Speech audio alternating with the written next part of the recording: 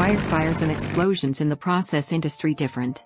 The process industries, such as oil and gas production, petroleum refining, chemicals manufacturing and so on, handle huge volumes of many flammable, explosive or toxic materials. The cost of a fire or explosion in the process industry is many times the cost of the original asset. This is unlike in other industries, such as discrete parts manufacturing, where fires and explosions are not only less likely to occur, but also if they occur at all, they do not cost the company multiple times the cost of the original asset.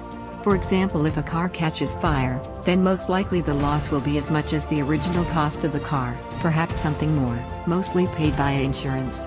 On the other hand consider the cost of the Deepwater Horizon, an oil platform that caught fire in the Gulf of Mexico.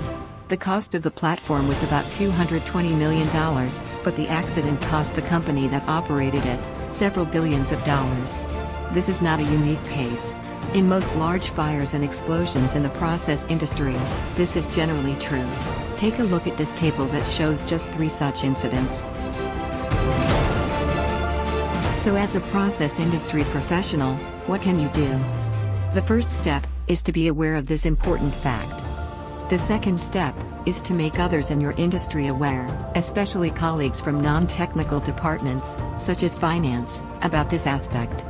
The third step is to learn about process safety, understanding and preventing fires and explosions, risk assessment, HAZOP and similar topics in depth. Abhisam has a portfolio of easy online courses that can help you learn all this easily, in the comfort of your home or office, or on the move.